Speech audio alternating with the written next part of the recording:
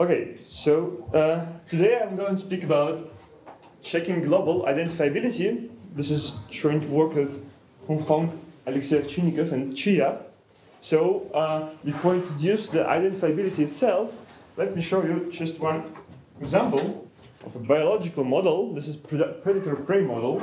So uh, what does it mean? It means that like you have a forest, there are rabbits and wolves, and there are some natural interaction between them. And uh, how is this model constructed? So let x1 is number of rabbits, x2 is number of wolves, and you think that okay, rabbits they born new rabbits, and this is this rate is proportional to the number of rabbits, and each time that then a rabbit meets wolf, okay, rabbit might disappear. So uh, this is this is this is the second term. Okay, so uh, then like modeler uh, constructs, constructs this model, he has this sort of reasoning, uh, but he or she doesn't know the values of corresponding parameters. And if you want to really apply this model to any predictions of future, you have to know these parameters because yeah, otherwise it doesn't make sense. So uh, the question is, can we get them from some observations? And the situation is might be a bit more complicated if, for example, you cannot uh, measure x1 or x2. For example, rabbits are too fast and too small to count them actually. So, uh, so it, for example, it might be that you can observe only x1 or only x2. And then you have a question, can I get these all numbers or no chance? So uh, this is actually more or less the general uh, identifiability question, how, how it's it. So you have kind of model what's like. The, what's the answer there? Give an example. Uh, can you tell me what the answer is? I will tell later when I give Yeah. definitions. so uh, Suspense. suspense, yes, yes. Uh, some intrigue. So okay, uh, so the main question is you have this sort of model, and you know that you can measure some things and some you cannot. For that example, the answer is not obvious. Do you or do do you not? Yes, for the previous example, uh, the answer is not obvious, and I, I will discuss it. So it's it's even a bit non-intuitive. So I, I will I will talk about that. So and you really want to, to somehow understand which parameters can you in principle find if you have noise-free accent measurements, and which parameters you just haven't any hope to find. Okay, so. Uh, and in this situation, when I say uh, word parameters, uh, as you have seen in the previous example, you have two kinds of parameters. Uh, one type is parameters that appear in equations and govern the dynamic, and another type is initial values. So if you want to model the situation, you have to know them both. Okay, so uh, Why? hmm? Why do you have to know? if you want to model the whole situation, I mean, you just want to know where to start. Well, if you, uh, it depends what you want to find out. Yes, of course. Maybe you are just in, in some certain parameter. Uh, It's, the situation m- might be different, but you, you're you, might be interested in both them and them in principle. Okay. So, but sometimes your interests are somehow restricted because, like, you don't care about some things and you care more about other things. Yeah. But Right. are, what you're saying actually, are you saying that there are frequent situations in which uh, everything has to be known? Yes. Uh, okay. There are such situations. But not always, but Not always. But these are important situations. Yes. Yes. Then you w- w- want to simulate the whole thing So, yeah, yeah, correct. Okay, so uh, just to give some very simple toy examples, then like you have this uh, equation x dot is equal to x plus k. Then of course, if you can observe k, uh, if you can observe x, you can find k. Obviously, because like you can just write this and measure x and x dot at every point that you like, and that's it. And uh, to have example of the model that is not identifiable, it's also it's, it's a bit stupid. But if your k is actually sum of two different k's, then you cannot just distinguish between them. So this is just because there are infinitely many possibilities. So I will give formal definition, more non-trivial examples later. Actually, our first example is mu- much less trivial. Uh, so Would you, would you do a little slower for people who haven't seen this before? Ah, okay, sure, sure. Okay, so yeah, so in this situation, the second model, uh, I can find from any for some measurements k1 plus k2 as one whole entity, but I cannot distinguish them. I can just put, uh, take something from k1 and put it to k2, and observer will not notice that. So that plus one here minus one here is the same, the same observed behavior. And so you're claiming that you can deduce it by just looking at this, but uh, what you're going to present uh, will address cases in which you cannot say that. Yes, yes. So this is kind of artificial example just to first Illustrate the notion. Yes see the notion on uh, simple situation, but there are uh, very entangled systems there. It's hard to predict what is actually identifiable. So, so And together K1 plus K2 would be what I was talking to you about, uh, an aggregate variable. So you can't determine K1 and K2, but you can determine the sum, and it's their sum that affects the outcome of the equation, the population. That's correct. Yes, So and and and, and, and, why do you, why do you want to separately determine K1 and K2 if you're only interested in what the system's? yeah, this is like, like see. Uh, first, we want to detect. Yesterday talks. Huh? I wish you came. Yeah, I know. Yes, I yes. It it, it, it, it was actually discussed yesterday by, Sort of by toy Nikia. example, but in other examples, there are cases where you would want to distinguish, but in this toy Okay. example, doesn't really Okay. make sense, yeah. Yeah, so, but anyway, before uh, try to find any remedy, you have to diagnose that you have a problem. Right. So first you have to uh, find that you have such situation, and then you do change of variables, reparameterization, or whatsoever. But first you ho- have to find that. Uh, okay, This, this is also maybe the, uh, one of the easiest examples that can be explained without technicalities. Oh, okay. So this is the reason. But it turns out, as you point out, this example serves several purposes. So it's a really good example, actually. Simple example is always the best. Especially if it serves several purposes. Yeah, I would write K1 plus K2 plus K3. Great.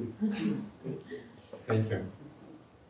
okay. So um, before I give formal definition, I want uh, somehow to introduce with what kind of equations do I work because uh, in the models that we have seen, uh, usually you don't have kind of complicated differential polynomials or such things. You have equations of very, very specific, but actually very wide uh, and express expressive form of this form. So you have variables x, okay, x, y, and u and mu are all vectors. Okay, uh, so they're bold. So x is actually state variables that somehow uh, define the dynamic of the system, and in general, you don't know them. Uh, what you know are y's that are observable output variables. So they might be some functions of the state. This, is what you can really measure. And u uh, is an input, so maybe first, before doing any measurements, you can maybe apply some force on the, uh, to the system, the force you know and you choose, okay, within some restrictions. So uh, y's and u's our friends, know them, and x's in principle are unknown. And so the total vector of parameters, it consists of two parts, of mu parameters that appear in dynamics here and here, and of initial values. So uh, I will not uh, speak about input that much. Almost everything that I will, actually everything what I will talk about works with presence of input. Just to simplify the presentation, I will omit it in So are you going to uh, talk about control theory then? Uh, control theory is uh, one of possible applications of all these techniques. the other way. No, I mean, we- I mean, the control theory have studied this kind of system. Yeah, sure, sure, yeah, yeah. But uh, in control theory, again, In terms of again, you, you have And all that kind of thing, right? yes, yes. Control theory is, uh, well, I mean, it's, I mean, they, they have used differential algebra already by the, looking at transcendent degrees and. I mean, yeah, yeah, sure. I, I, I, I- will mention this people from control theory. This is, this is, yeah, but in, in, in some sense, this, this language is it's, it's very expressive. You can speak about control theory using this language. You can speak about biology. You can speak. So this is some general setup. William, could could you repeat your question again? What was your question? Could you repeat your question? No, no, no, no. See, the- No, no, there's no, que- there's no question. I'm just Ah, seeing was no question. the, the connection, um, that people have studied these dynamic systems, well, they don't call it dynamic, they, I mean, it's control system. Uh, you know, so, so the U's are the inputs, for example, so it's observable. The Y's are the outputs, so they're observable. The X is internal state, black box, inside the black box, right? So they were expressed by this kind of equation. The, the Y equation is uh, some kind of a constraint. Uh, maybe you want to feedback that, I mean, you could be also be Y if you want to do feedback. And the way they do that in differential algebra, that was done by Fliess uh, in the nineteen seventies. Right, and uh, so they use, so, so you put in this X, Y, U, right? Um, and then you look at the, um, the transcendent, uh, a, a differential transcendent basis, basically, to, to, let's say, invert the problems. Uh, you know, they have um, input observation, I mean, observability and that kind of thing that they study. Uh, I don't know whether this is, you know, connected to what you're saying, that's why I'm asking that all. So you had a question. Okay? And he gave you an answer. Can you, are you gonna do an example to show like, given a, a system, how, what each of these variables are in that system? Yeah. Next slide. Okay. I hope. Yeah. so okay, so we have a system exa- exactly of this form. We have only one x, one y, and uh, three parameters, so mu one and mu two, and initial value of x. So this is kind of when x is linear, then y is also linear, and this model uh, can be solved exactly. Just you can write the formula because linear function, linear function, and then you see that this example is an elder brother of our earlier unidentifiable example because in your observed variable y, again, sum of two parameters occur. And again, you don't have any way to split them. So this is a little bit more obscure identifiability. It, it might be even more obscure. Uh, much more. So, but this is th- this equation is of the form we discussed. So we have state variables, differential equations in terms of state variables, and then we have output y written in terms of state variables and parameters. So, William, so you, you were proposing in that uh, uh, um, sort of easier example to replace K1 plus K2 with a new thing. Yeah, How would you, how would you uh, do it now? I, I don't follow your question, sorry. So, okay, let me repeat the question. Do, uh, Repeating doesn't help me. Okay, let, uh, let me clarify the question. Okay. May I clarify the question? So, um, uh, well, um, do you, first, do you remember the example of K1 plus K2? Yeah, sure. Okay, and you made the proposal uh, to replace K1 plus K2 with something new, relabeled. Yeah, uh, yeah, that's right. Okay, so Let's call it. K. Okay, so this example has some similarities. That's It also has a sum of the parameters. Yeah, right. How would you act in this case? Now, in this case, uh, it, it actually explains why we don't want to uh, make them as an aggregate, even though, even though the system behave, behavior won't change if mu two plus x star don't change. But since mu two and also x star has different physical meaning, Mhm. then you do want them separate. And when x star is an initial condition, condition initial, how you start? Whereas mu one uh, is actually a, a rate. Um, in, in a sense, technically speaking, the two shouldn't be added together because they're different dimensions.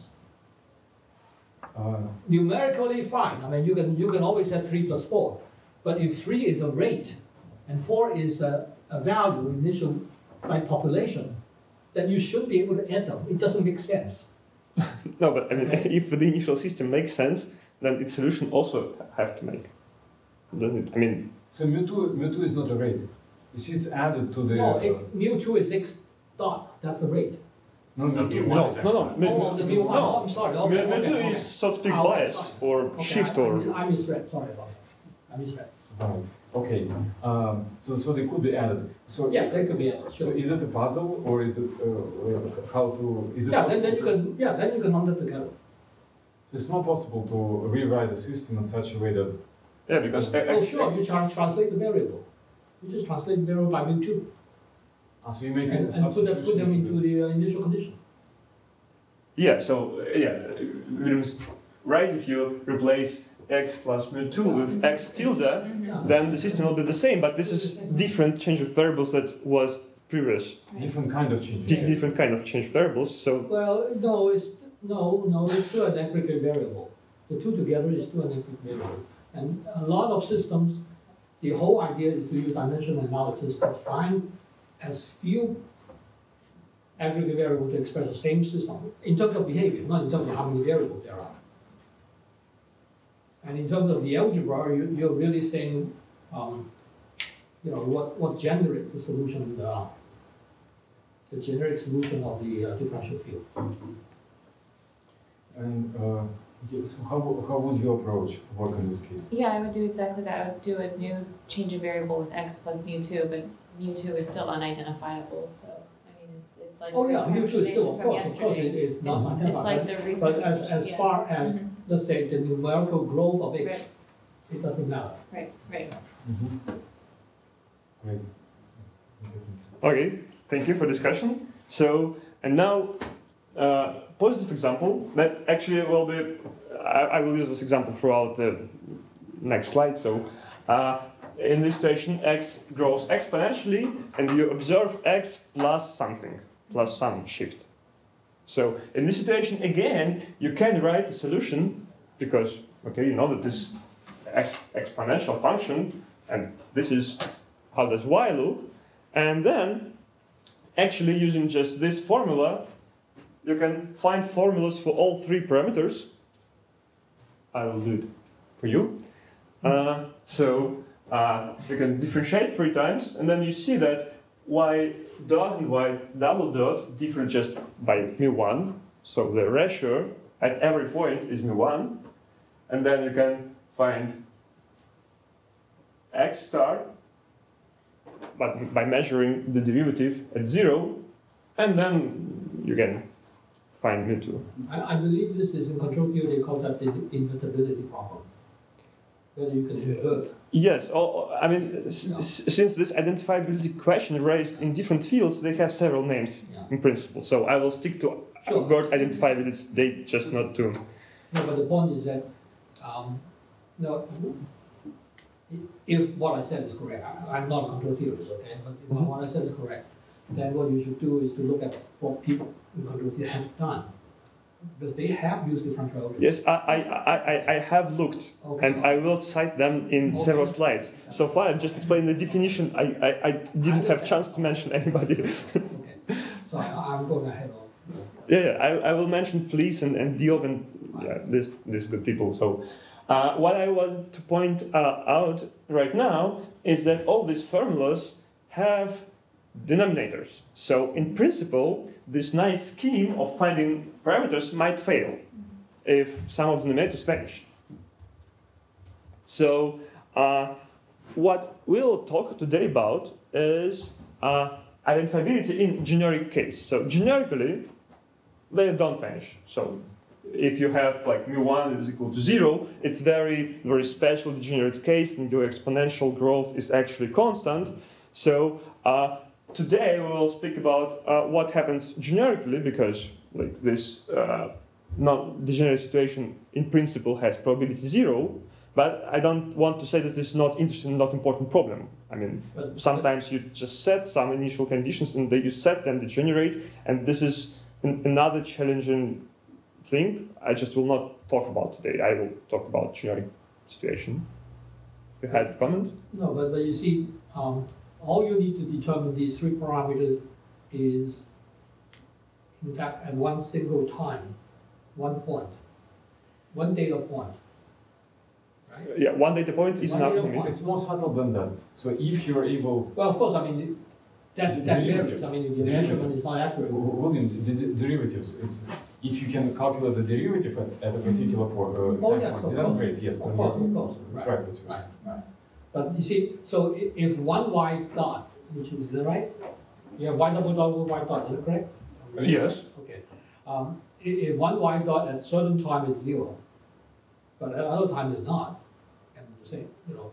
Yes. then that Yes. would be okay. So- Yeah, it's- Correct. So- So you- vanishing so you don't- as a function, William. It's vanishing as a function. Ah. function. Yes. Yes. I, I mean, as, as, as a function, All right. Yeah, and actually, I mean, if mu1 is zero, then the system is really identifiable because then Yeah, uh, true. x is constant Yeah. and mu2 are constants and you cannot separate them. Right, So this is really an issue. In this generate case, situation really changes. right, of course. The equation is different. But however, in practical problems, uh, uh, knowing this generically is sufficiently interesting. Yeah, it's, it's, it's actually usually the case because all, all, all quantities are not actually not, not exact and, and they Okay. usually don't vanish your certain polynomial, which is denominator. So this, this is what I said about probability zero principle.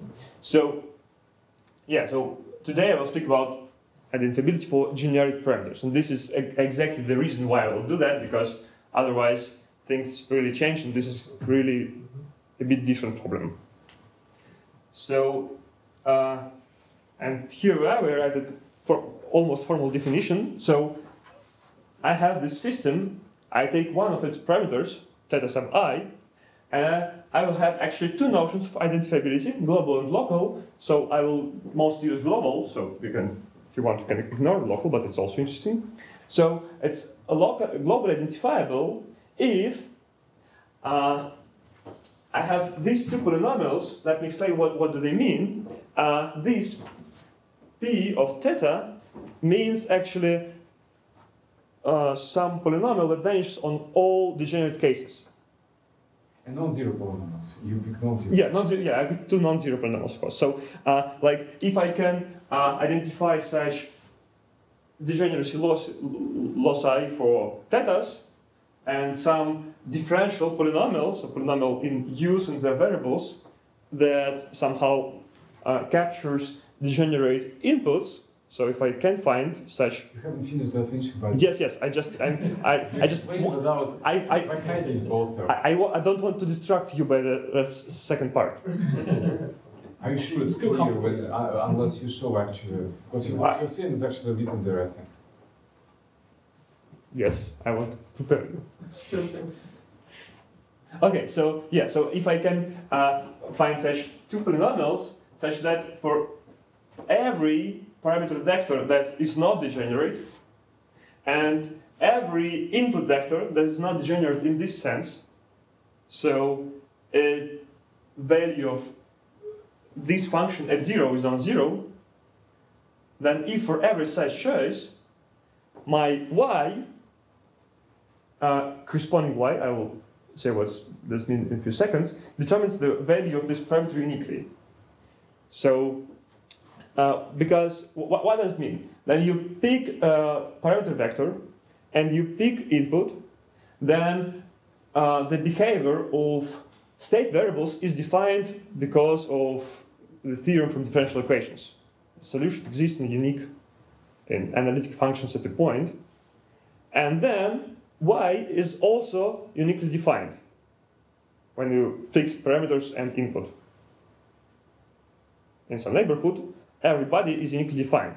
So you have unique fun- function y, and now if uh, this function determines back the value of theta i uniquely, then theta i is globally identifiable. If it determines uh, up to finite number of options, then it's locally identifiable. So if you So, by the way, so f and g have, or f at least has constant coefficients. Yes, yes, I, I didn't say that yet. F, F, F, F, And the non-constant thing is hidden in u. yes, yes. F and F and G have constant coefficients, and uh, if you have non-constant coefficients, you can okay, you can hide them in di- different ways. Actually, you can hide them in X principle. Yeah, okay. So yes, um, I, I assume constant coefficients right now. So why do you choose this as a definition for uh, identifiability? Uh, I, I wouldn't say that this is my choice. I, I I identify. I, I mean, you presented it, so it's your. yeah, yeah. So, so yeah, so yeah. Okay, it's it, it, it's The, Yeah, the, the point is, I don't see intuitively why this definition says that these, this particular parameter, if it satisfies these conditions, is actually identifiable. Yeah, Of but, uh, It will take a theorem to prove that. But No, you see, but you see, you're defining, but you see, you're defining identifiable using this method, using this definition. So I want to see that that is intuitive, at least. So could Okay. you explain slowly, Yes. pointing For out that example, why for is example, for example, could- maybe you will give an example. Are you going to give an example? I will discuss campuses. So, uh, but um, uh, yes, No, see, you I- go see, see, I, you- I, see, you you gave, you gave some very simple examples earlier, where some variables are identifiable in one case and the other one Mhm. not. Now, would that satisfy this kind of condition? yeah, yes, yes. Okay, So could you Yeah. illustrate Uh, yeah, first, first, may I uh, maybe uh, re- re- rephrase what's written here Could you, could you go back? Uh, to examples? Yeah, could you uh, actually the request here? So Okay, so uh, this this was one- one slide more because it shows the system. That's the Ah. easiest one. The one that's not, that does yeah, yeah, not, but you just I wanted, I want to use the formulas. Okay, so uh, so yeah, this is the system. Yeah. Okay. Which one do you want to learn first or second? Well, you see, to prove something is not identifiable is very hard according to that definition. Because you have to show that for So every which- P, No, and- no. Which for every P and every Q, uh, some of them fails. Yes, yes. So uh, yeah. To, to show Pro- something is identifiable according to that definition is to produce a P and a Q. Right? Yes, yes. Which is in some sense easier because you can search. William, which one do you want to discuss now? So? I like, I like first of all to see the one that is identifiable. Okay, Okay. so could you explain this? Okay, so here uh, in this example, This one. we don't we don't have input. Okay, Okay. we only have parameters, and for p from definition, I choose. Can you write here? Go What is, what is y fr- uh, from the definition? y? y from the definition is y. No, no, the one that uh, you used in the definition. Ah, so yeah, It's okay. not So uh, it's the y that you wrote uh, in, in the last line. yeah, That's so the y from uh, the definition. Uh, e- every set of parameters, mu1, mu2, and Because x, x, yes, Because x star, they define y. Yeah. So I have a map from parameters to y. And I want to know if I can go back. So if I can see in y, understand what parameters were. So, so do, do, do you confirm that the y that is written on the last line is the same y that appears Yes. in Oh, the yes, oh, yes. Yes. Yes, there's a solution, Yes, there's a solution. It is a See, the, the problem is identify, I mean, the reason why it's identified is because of the uh, linear independence of the exponential function and one, Yes. In some sense, uh, this is the reason. right? I mean, you, you, you, you get two points and then you can solve them. Okay, so But you see, so, but how does this being identifiable for mu one and mu two fit into your definition? That's what I want to know. Yes, in, uh, for my definition, uh, uh, I, I, I take the polynomial p to be just mu1. So I What was p? uh, p that, that says what uh, choice of parameters are degenerate. So for every choice of parameters such that mu1 is not zero, If you want to use. Uh, Then we want to- yeah, okay, so, yeah, so uh, my p of theta in this situation is just mu, mu1, sorry. So for every choice of parameters, then whenever mu1 is non-zero, uh, I claim, so, yeah, so Yeah.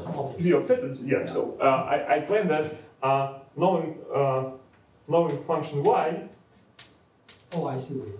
Function y is enough to find values, find the values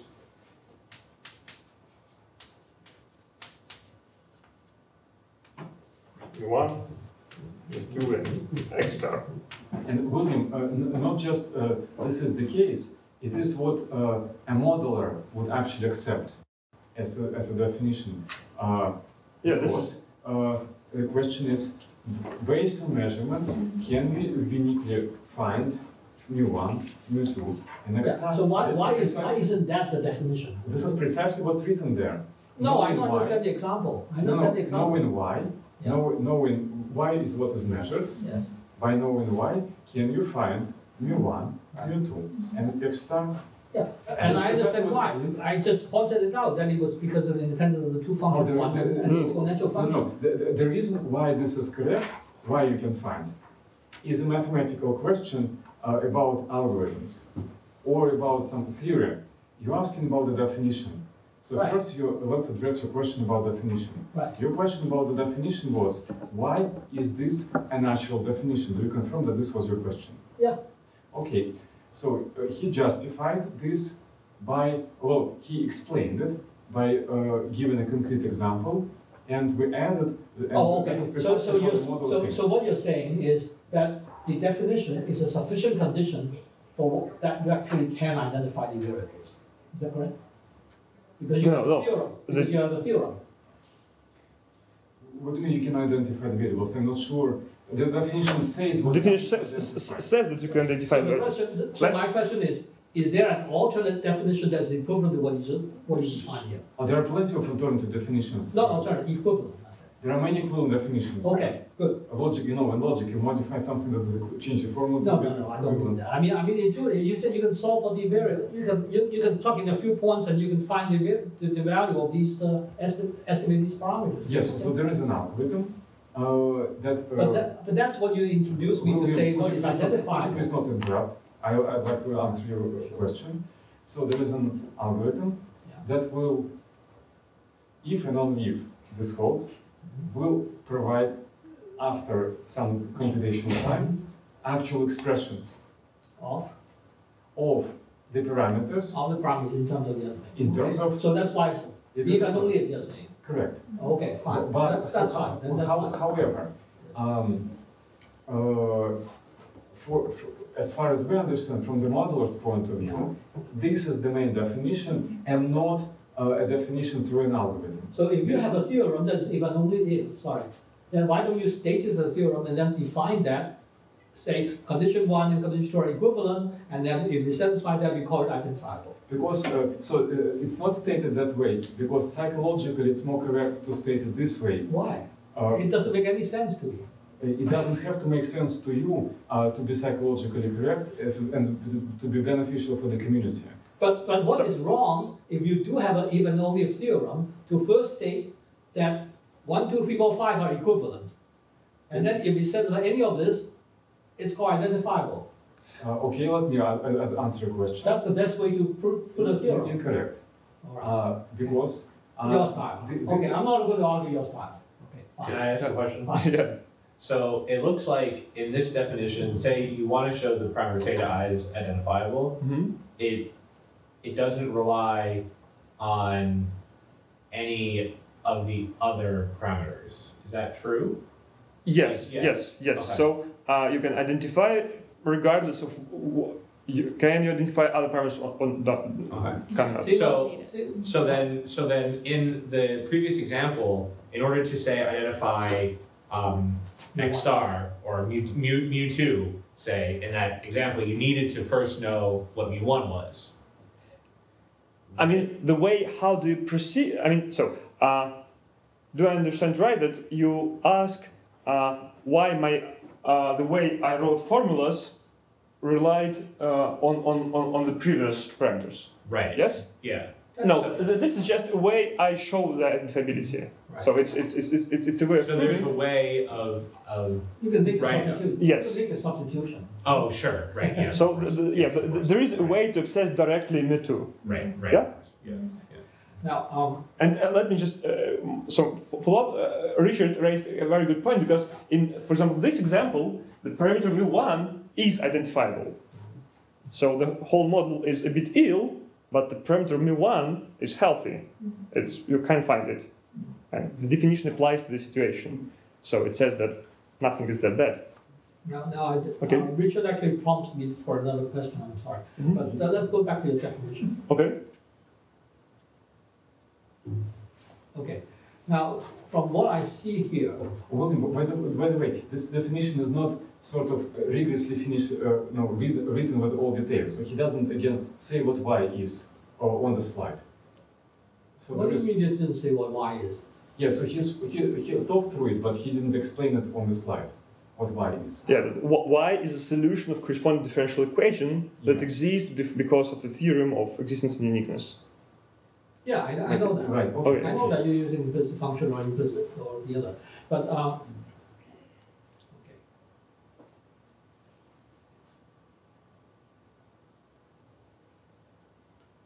I, I'd like to ask you, the last two lines, is that a conclusion or is it part of the definition?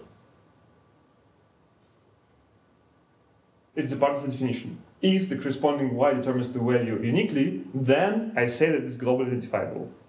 So, so the such that has two points, actually has three points, is that how I should be reading it or The what? points No. are quantifiers.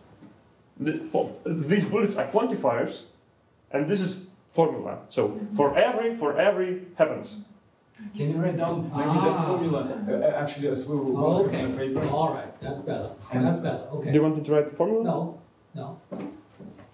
No, no, okay, I I understand. So, so you see, why I'm asking, Richard was pointing is that, see, the, the, the identifiability suppose, is supposed to depend on the system.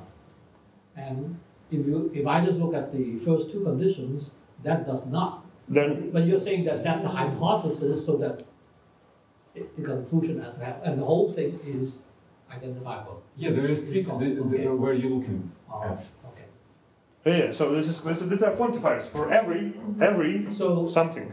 So, so that means that, okay, all right. William, I Never never mind, searched through many different ways of stated. No, no, no, no, no, I want to understand what it means. Yes. okay? So now I will have a better understanding. Thanks. Good. All right? Yeah, yeah, sure. That's that's great. That's it's really great. That's, that's great. So, so, I mean, see, I was missing the tie. If I just look at the two conditions such that, because it looks, of course, but it is such that if for everything, then this. It's just for like a logic, Okay. Mm-hmm. like such No, that. no, no, No, okay. No, no, I, I. Can you write down the Yeah. formula? For, formula.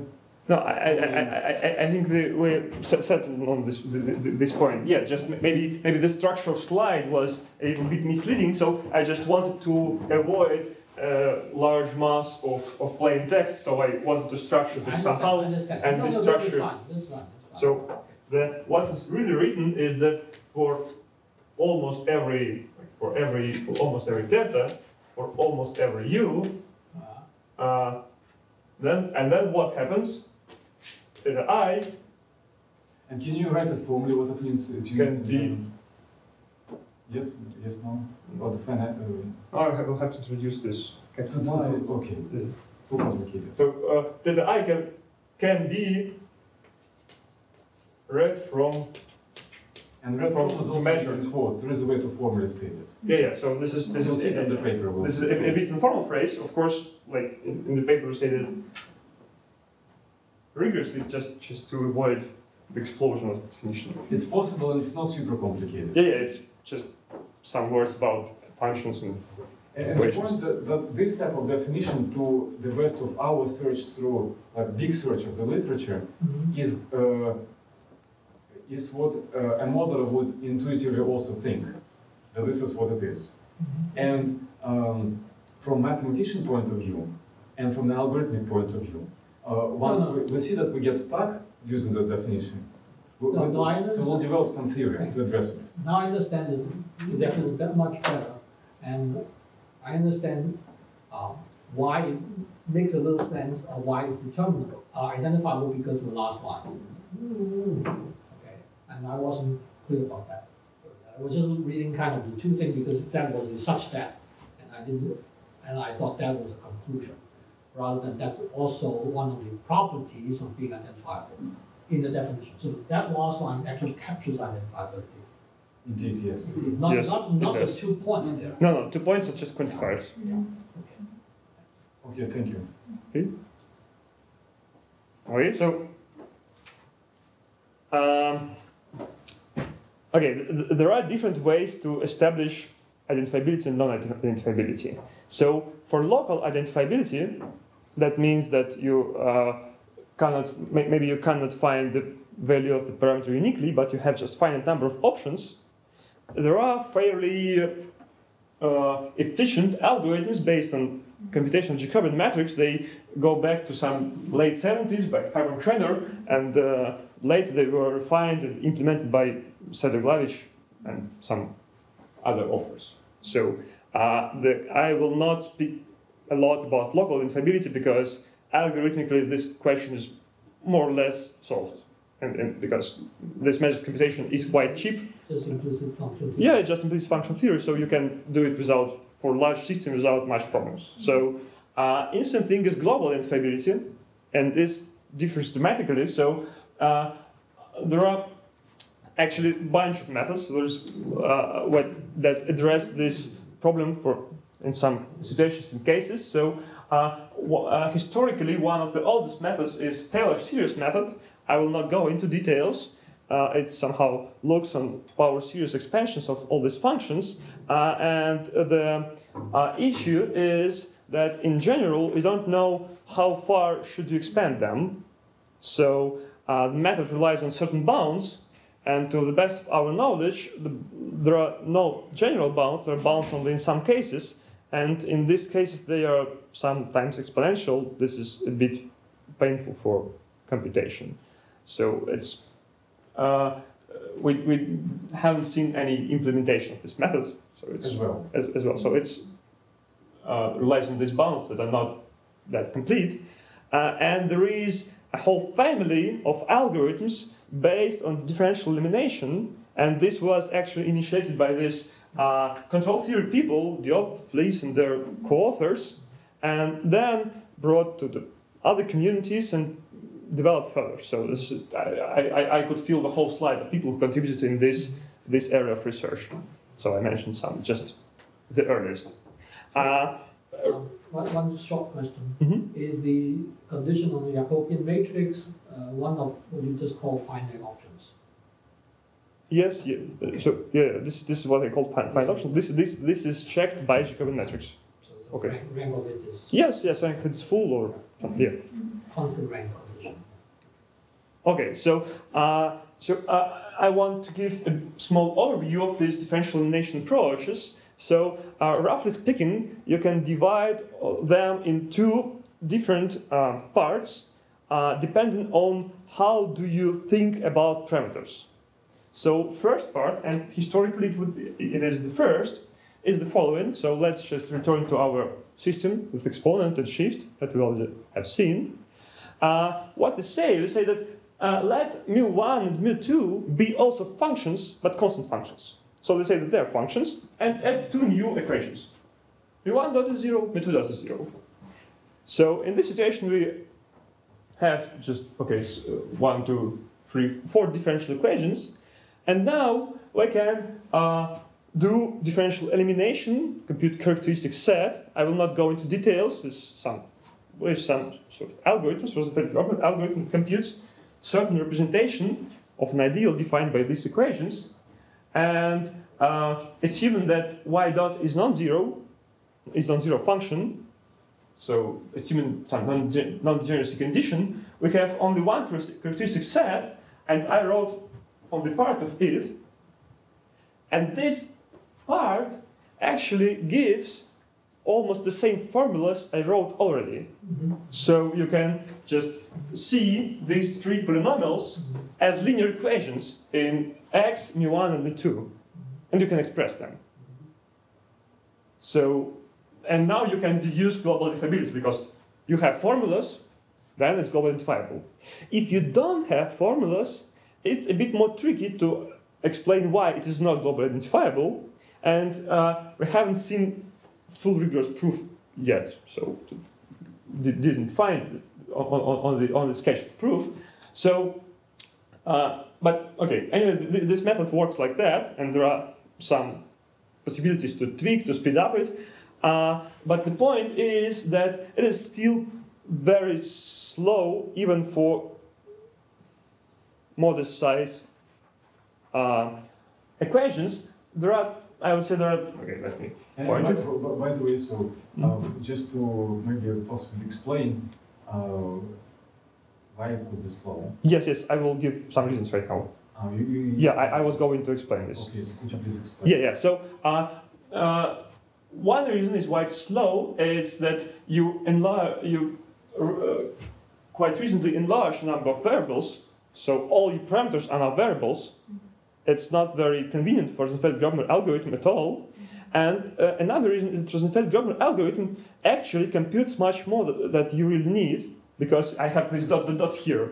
I will not use it, and this this is the rest of the characteristic set, and it might be actually much larger than the part I will really use. But, but no- not just that, uh, that there are extra terms, but also mm, the first terms give you expressions. Yes, yes, And and sometimes the a customer doesn't ask for expressions.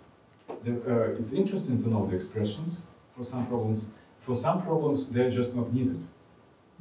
So uh, uh, question is maybe can that be avoided? So you see, so that's uh, yes, this automatically computes more, more, and more. So this is this is good if you really want these results, but sometimes and quite often you really don't don't care much. Well, in, Okay. in general, you probably can get formulas if the mu one, mu two, and I mean the parameters appear nonlinearly. Oh, he- we're asking about global identifiability, Yeah, yeah. so they, they will be linear. Yeah. What? There will be linear expressions. Why? If they're globally identifiable, Yes, How they will. look, look, look. If instead of mu two in your y equation, I say I have mu one times mu two. Whether it makes sense or not. Okay. I mean, when, when you, when you have a system of differential equations and you compute uh, characteristic set, there's no guarantee that variables appear linearly. uh, no. Uh, uh, there is a theorem that says that global identifiability is equivalent to having to, appear, to linear appearance of Oh. variables. Uh, it's it's. Uh, uh, I mean, okay. I would say the that this. definition, the definition will require that I can solve. Correct, but it Yeah. turns out to be equivalent. Yes, it, it, it, it, it, it's equivalent. Solving has to be, uh, okay. Yeah. So we haven't we, ha- we haven't haven't seen full proof of this we, theory, we, know, but we know the fifth degree equation can have a formula to solve it, right? So how do you so, tell me that you can always solve it? Well, let's no. we- we don't. Well, I'll show you. You can read the proof and see. And see. Oh, okay. Well, but you, you can't, but if you can't explain how you can actually solve fifth degree equation, That's okay. It doesn't apply here. well, then that's why. So I- I'd like to ask why. Why does fifth degree equation don't Well, have, don't maybe you'll invite him for another talk in which he will explain the proof. No, no, I don't, I don't want to read your proof. I want you to understand why fifth degree equation don't occur. Uh, if you can give us example that it will occur, we will. Oh, no, With no, pleasure, no, consider no, it. no, you, the burden is on you.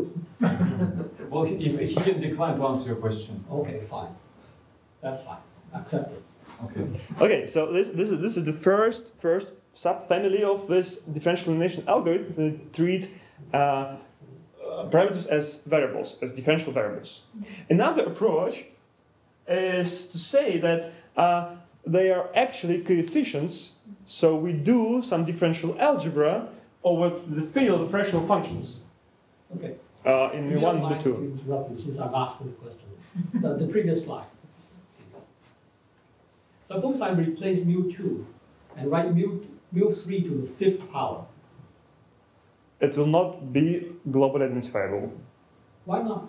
Because- Because you have to take the fifth root, right? But Yes, there are only five roots. but this Ah, is so this is locally identifiable. Ah, you want unique. Unique. Ah, see, that explains why. okay. See? Okay, Okay. all right, thank you. Thank you. So, uh, I mean, because it's unique, so you can't have fifty degree equation. Yes, this is what's written in my definition. Or if it's fifth degree, it should factor. So, Well, no, not only that, you can't, you have, no, actually, this is still unique because it's repeated root. Pardon? It's a repeated root. I've, I've mu three to the fifth power, Method. so it's still unique, right? Where's mu three? it's still, No, but it's but it, it's unique but it's only fifth degree equation. in degenerate situation. Then this mu three to the fifth power will be equal to zero. No, no, no, mu three, Where's mu three? ah, okay, all right. mu three to the fifth would be Mu three unique, to the fifth. but not mu three itself. Ah.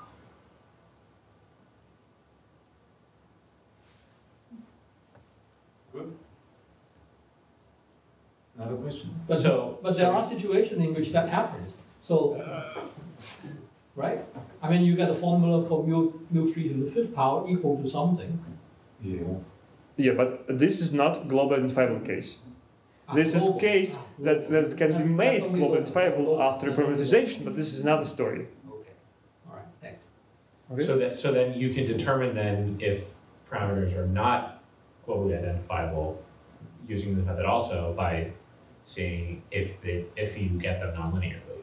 And- Yes, yes. So if if if uh, you don't have these linear uh, polynomials, then it's not globally definable.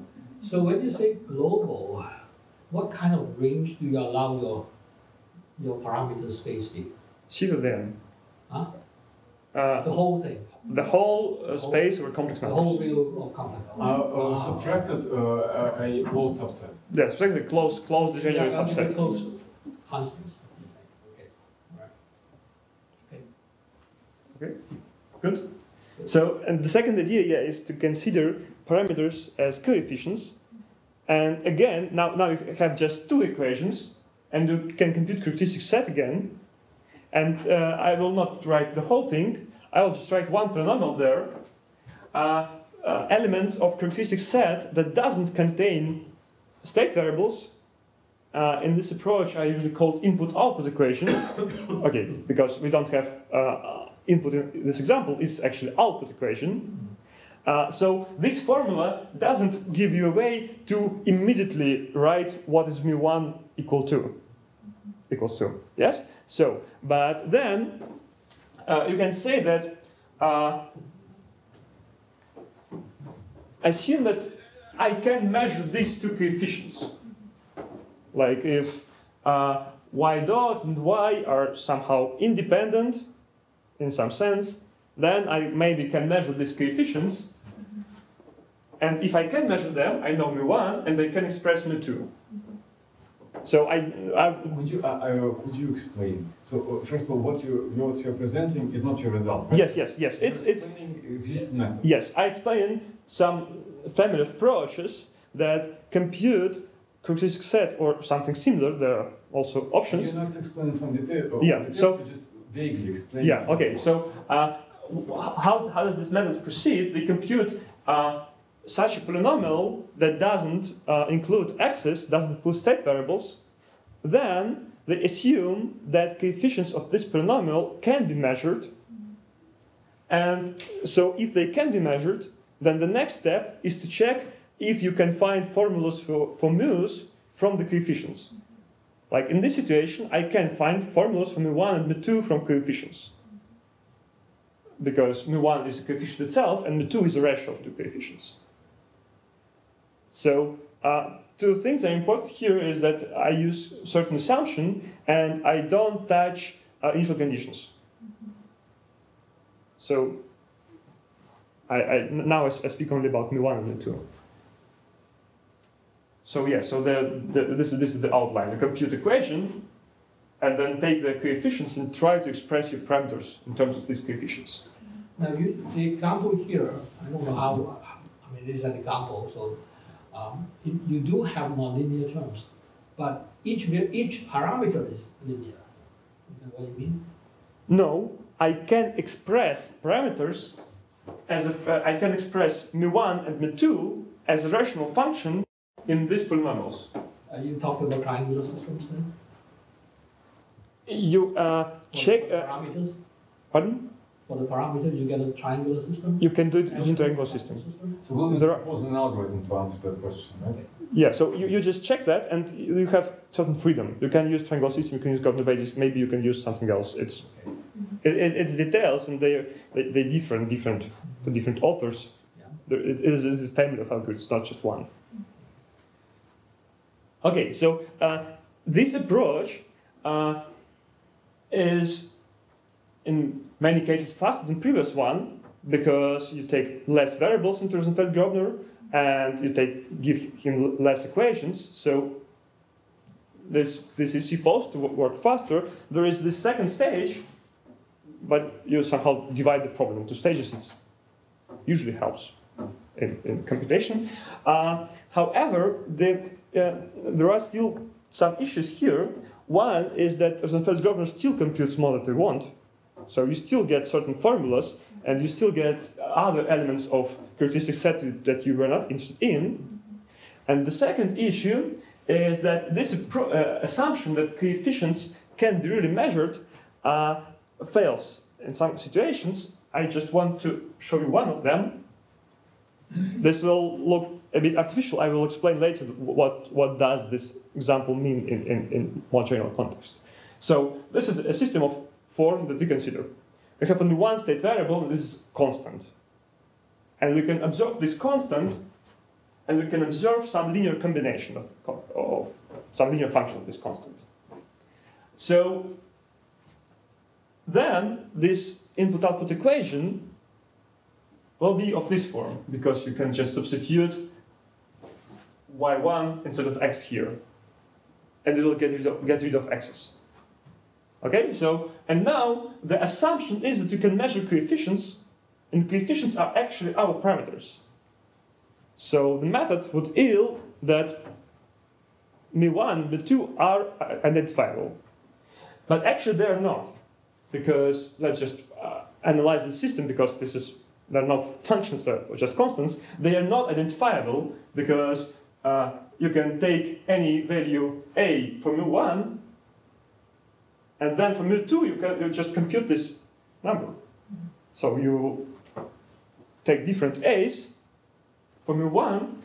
This formula gives you valid values for mu2, and you have infinitely many of them. So so this assumption about the observability of uh, coefficients of input-output equation is a bit subtle point for this method. Uh, and so what does uh, example mean? What kind of situations does it capture? Where, where in your definition on identifiable involve any choice of y1 and y2? Could you repeat please? Where in your definition on identifiable parameters Mm-hmm. did you say for any choice of y? Mm, say for any choice of parameter. No, Ah, but oh, no, you wrote for any Okay, choice so of y1 and y2. Ah, okay. So So, so he's commenting using some equivalent statement. Uh, he could also express this non-identifiability using his definition. Perhaps it's a good point to express it. Uh, um, expressing uh, would uh, amount to solving the system and showing. So you're inverting, you're already inverting the input output, is that correct?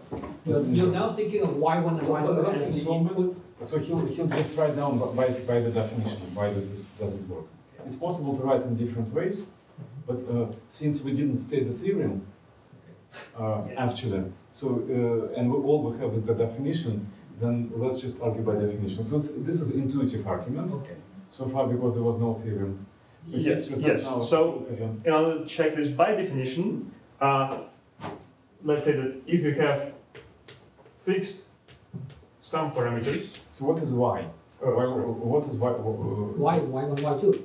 yeah. So in this, in, in terms of parameters, y1 and y2 can be expressed because we can just solve this equation. write- write it? Uh, y1 is just x star, it's constant, and y2 is mu1 x star plus mu2.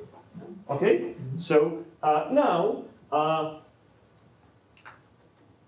assume that we picked some values of x star, mu1, and mu2. Okay? So we have values of y1 and y2. And now I take any other value a for for for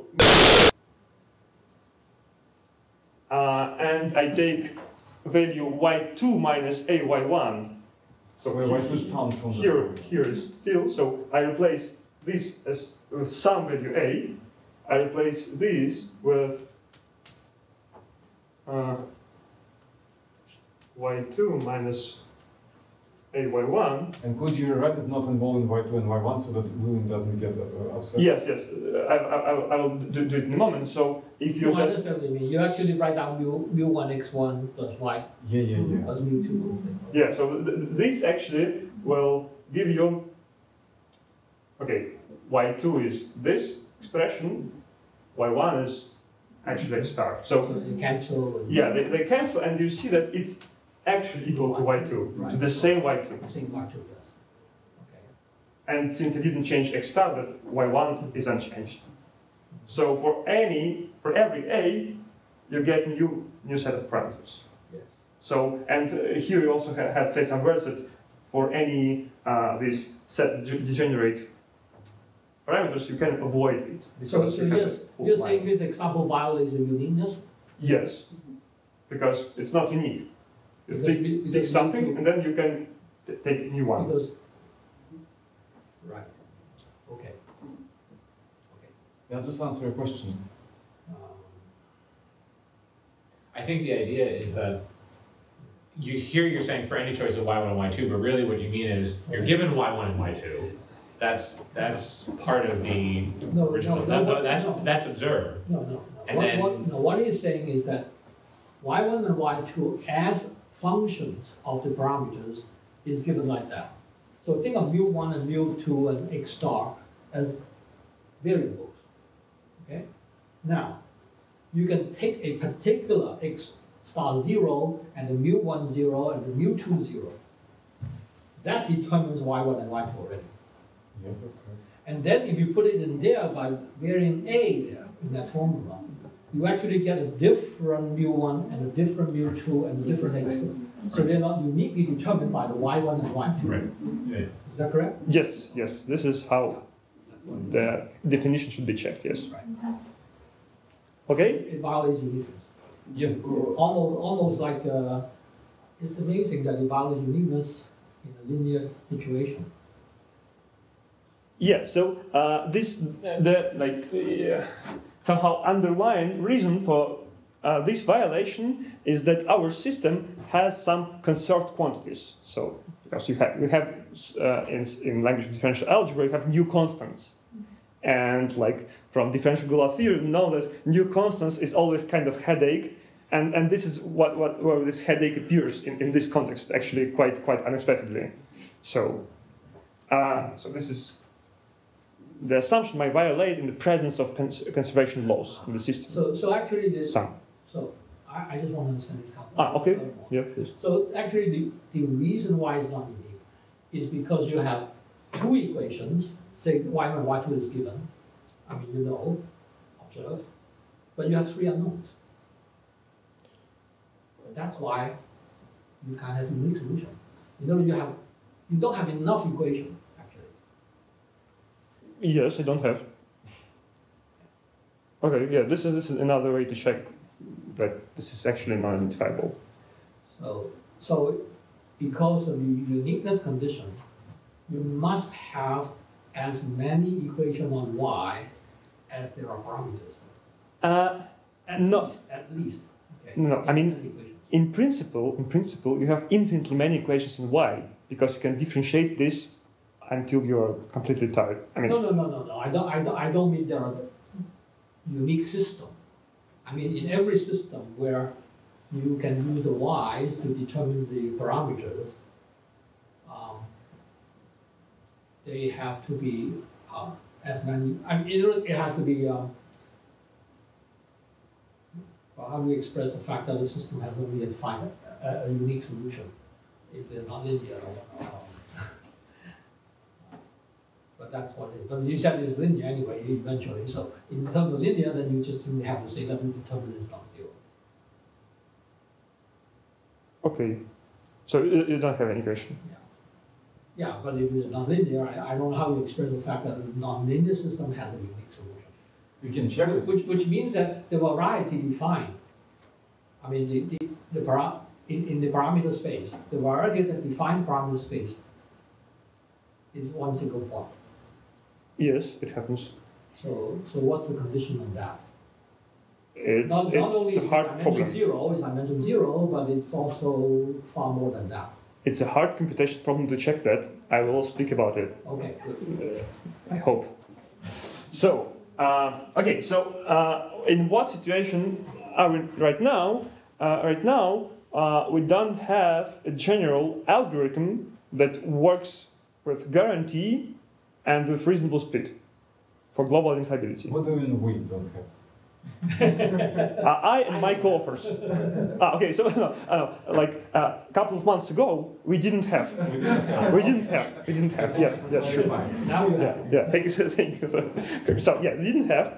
So and now I would like to present how do we approach this problem. So um, I will use still Roughly, You, will explain it roughly, Uh, but. yes, I will, I, will- I will roughly, because I will omit some details. I will omit all inputs. They don't really make situation much more complicated. And I will show you the, how it works on some example. This one, actually. So uh, this, this is example that we already have seen, expon exponential and, and shift.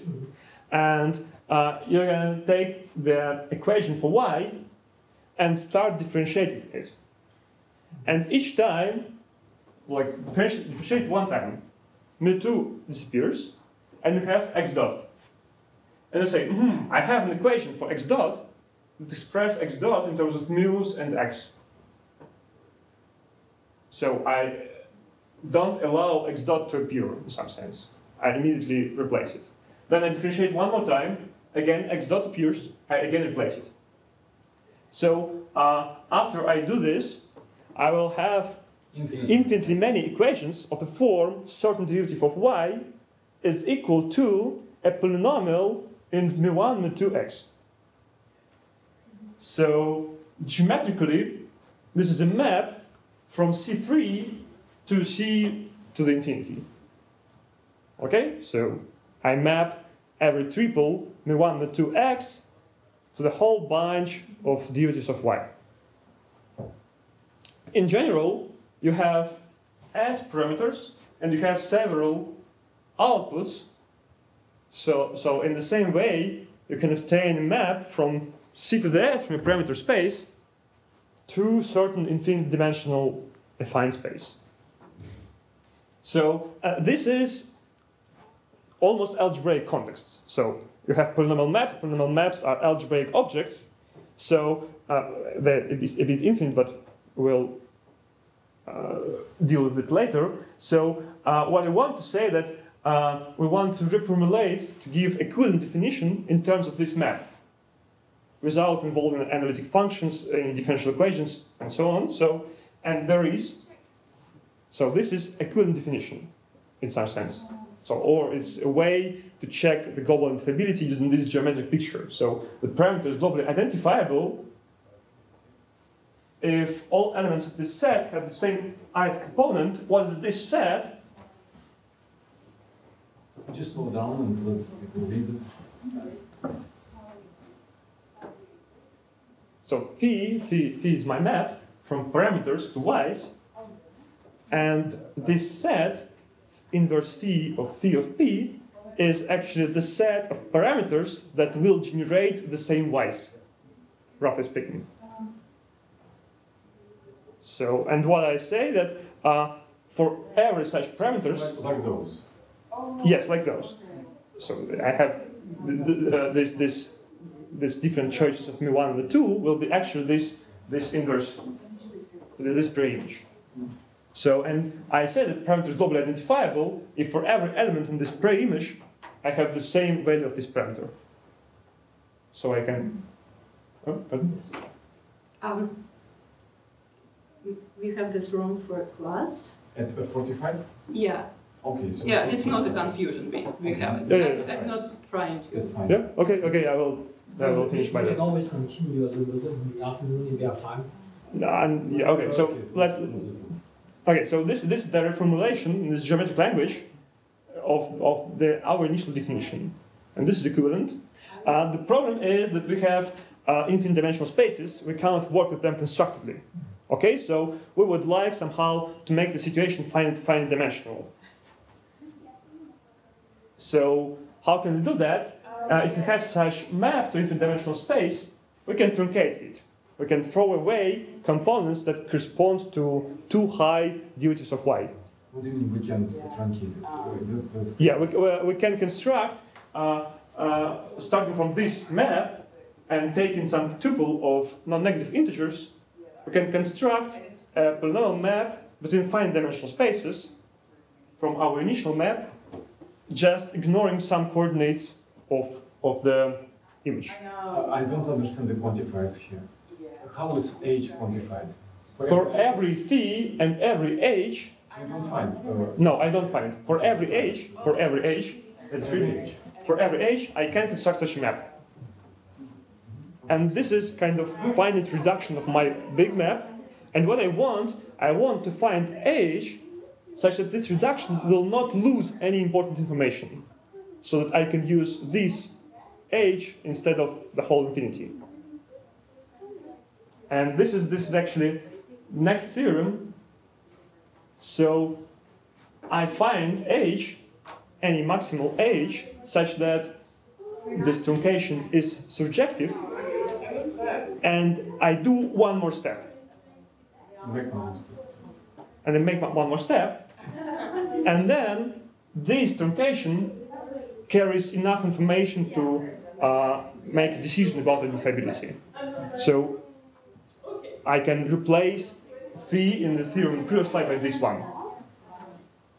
And there is an algorithm to calculate this. Yeah, uh, yeah. There, there- there's an algorithm. I, I will. I will say about the algorithm. So, but just for now, if I okay, so yeah, and okay, so and there's nothing. So first, I can find such age. It's not hard. It's also some Jacobian Jacobian business. Then I pick random uh, point parameter space and compute a pre-image. So and okay, so there are two things: random point and computation of pre-image. For computation of pre-image, you can do any polynomial algebra you want. Okay, stop. Close the door. For the computing of pre-image, you can use any polynomial computation technique. Currently, we use Gröbner basis. Uh, this uh, random point, uh, we did, did some analysis, so you can guarantee any probability of success that you want, less than one. So, so uh, for, ba- based on the input data of degrees and orders and number of variables, you can compute some some way of doing this random choice that this result will be guaranteed to be correct with probability that you want that you set. So it's not just speculation that we take something random. Yeah, yeah, it's not like high probability or you know, just say me you want 99%, I give you 99%. This is this is this is a rigorous thing. And okay, just to finish this is an example, some chemical reaction, and this is okay, it's reasonably large. And if you set probability 99.9%, the algorithm says that everything is globally identifiable in one and a half minutes. So, and this is you cannot cannot deal with this with Rosenfeld-Gröbner. Wow, It just will not finish. awesome. So, and yeah, this is this is I think the end of the talk. That's thank you for attention and for. Questions? More questions? Um, Huh? on the, go, could you go back to like two previous slides? Um, This one, oh, sorry, one more previous. one please. So I'm a little confused. Aren't you still sort of computing an input-output equation in the sense that you're taking derivatives and then, you know, plugging information back in? Isn't that? I, I, I- I don't eliminate x. But in this example, x was uh, y minus mu two. But you don't know mu two. Right, but but I'm saying that. Uh, Ah, I mean, okay. If you no, if you want, if you, you can replace x with y minus mu two here and get input output equation. But I don't do that. I, I do different thing. okay, but I I, I, I, I, I don't uh, don't eliminate x's. I keep them all, all, all the way. okay. So, but you know, of course, in, in any any method you will di- di- differentiate some at some point, and there's subtle things Okay. which order do do that. Do you actually rule out any singularities because you talk about global uh, identifiability? Is that local? Pardon? The, uh, is your question uh, does global identifiability implies local? Or, Yeah, I know. No, no, no. Okay. Um, I'm saying that in your calculations, um, because you are aiming at global identifiability, do you ever encounter any singularities? I mean, uh, okay. Uh, maps that we uh, construct can have singularities. Okay, Then how do you handle it? Uh, in, in, in what sense? I mean, I, I, I compute the pre-image. I, I, I don't need to think about singularities if I compute pre-image of the point.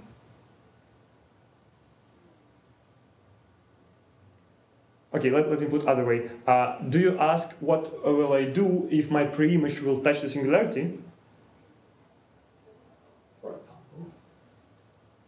I avoid this with the high probability, making enough, making right choice of the probable of the parameters, and I can compute this probability. So. So one more quick question. Yeah, is there a quick question? Yes, no? Okay, thank you again. Thank you.